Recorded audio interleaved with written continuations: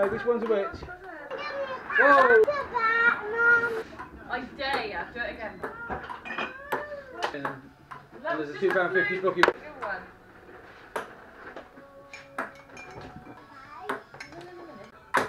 What the? I thought I'd just go for it. Oh, hey, well, you've got university in a few years. Yeah, hurry up. Number five. Come on. Just a flu. Oh!